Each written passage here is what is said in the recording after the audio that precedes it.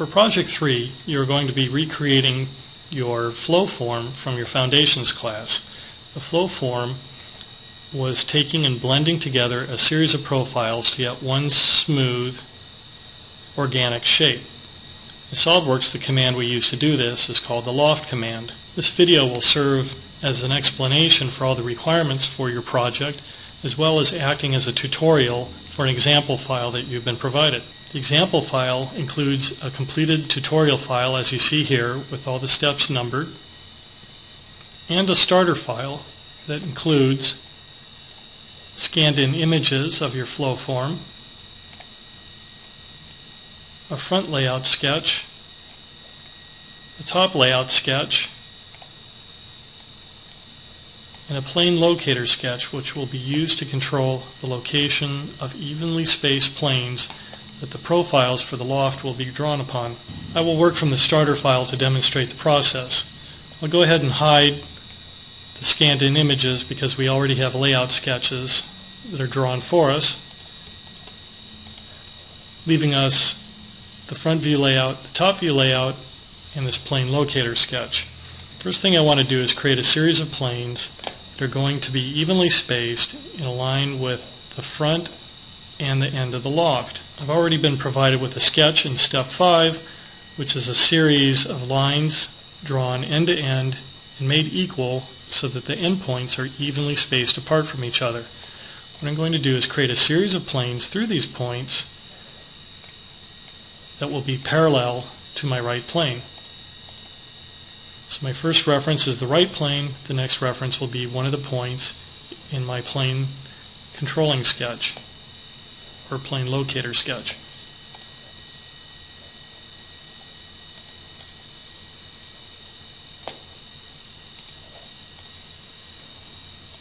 And continue this process until I get all five additional planes that will be spaced evenly apart.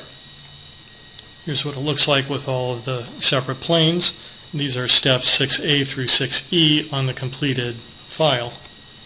On YouTube, on my channel, you can find a video that explains in more detail how to use a layout or locator sketch in order to evenly space your planes. You have to use this method or another video that I show in the event that you need to have some angled planes to control the location of all of your profile planes to make your loft. One of these two methods must be used for this particular homework assignment. The next step involves creating a 3D curve that is a combination of the front view of this middle curve here and the top view of this curve here. These two curves and these different views actually represent the same three-dimensional curve just seen in different views. We somehow have to combine these together to form one three-dimensional curve. In order for this to work properly, both curves have to be the same length in the x direction from the nose to the tail of the loft. The method we're going to use is called projected curve, and that's found on Insert, Curve, Projected. But before we can do that, what we want to do is make copies of the appropriate curves from our layout sketches. To make copies, we have to make new sketches. So on the front plane, we will start a new sketch. We want to copy this middle curve, which I call the outboard curve in the completed file and we make a copy of it using the convert entities command. So we see when we copy this edge, it gives us an on-edge relation and the edge is black. We're just copying that one curve, finishing the sketch. On the top plane, we make a new sketch, copy this curve, and again finish the sketch. To combine these together into a single 3D curve, go to Insert, Curve, Projected, and we select the two sketches that we just created. These then combine together in a single 3D curve while still keeping our top layout and our front layout preserved at the top of the feature tree. This is represented by steps 7, 8, and 9 in the completed tutorial file. We also want to make a sketch that contains nothing but this top curve and, a, and yet another sketch that contains nothing but this bottom curve. Once again, we'll create new sketches. on the front plane. And I'll just select this one curve, use Convert Entities to copy it, and finish that sketch. A brand new sketch on the front plane again, copy the bottom curve from the front layout sketch,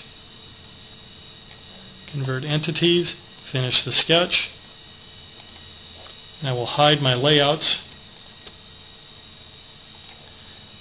to show a separate sketch that represents the top guide, separate for the bottom guide, and a curve for the outboard guide.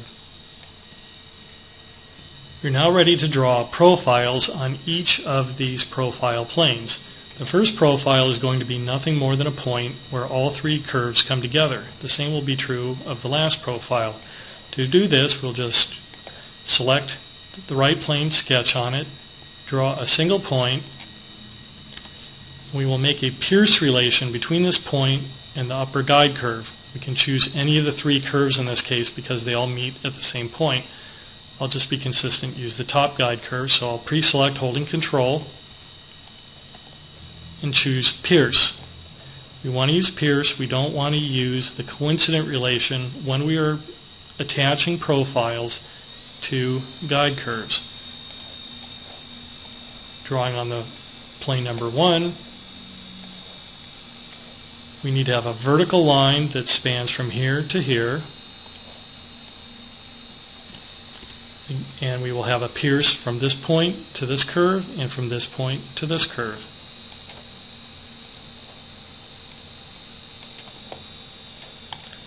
This line has to be a straight vertical line because when we make our loft we want to have a flat face on our front plane.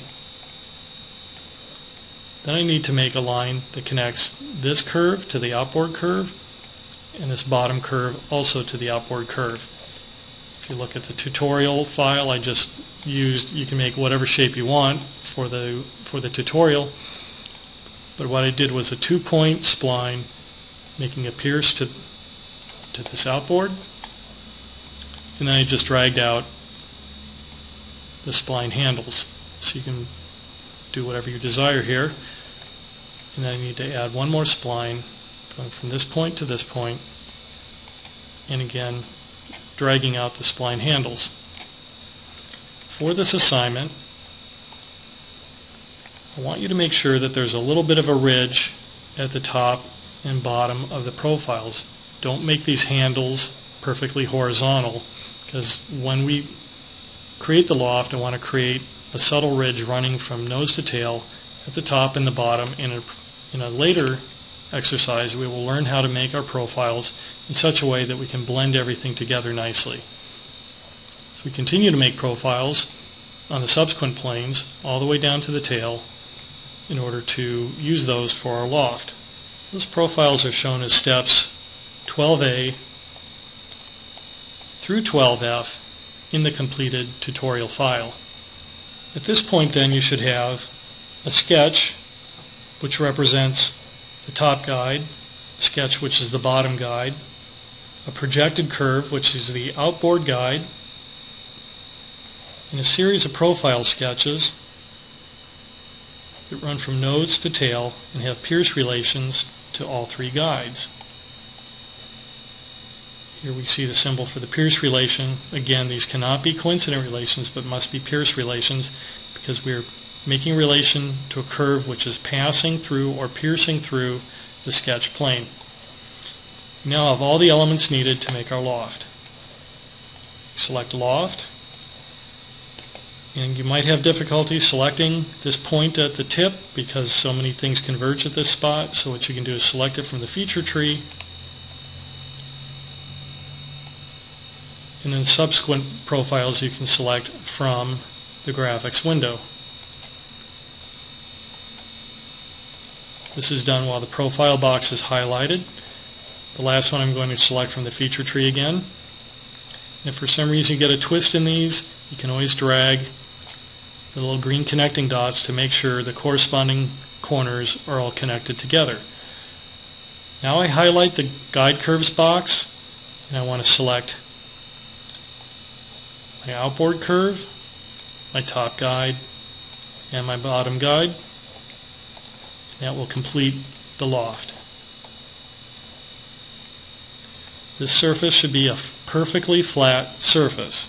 One way to check this is simply click on it and see if you can make a sketch on it. As long as you can make a sketch, which will occur when this symbol pops up, then you know that this surface is perfectly flat.